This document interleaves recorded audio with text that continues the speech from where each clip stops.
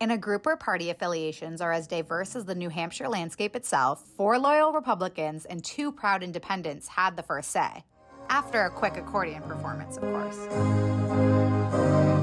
Join me for midnight voting in Dixville Notch, where for the past 64 years, the first votes are cast for the New Hampshire primary. The entire event took around 6 minutes and 35 seconds since there are only six registered voters in the town. Yep, you just watched the entire voting process sped up.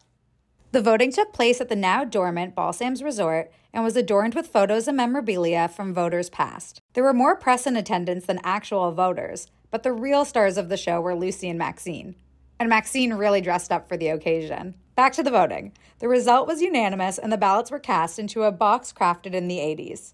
I think New Hampshire is going to surprise everybody, and that Nikki is going to be the candidate.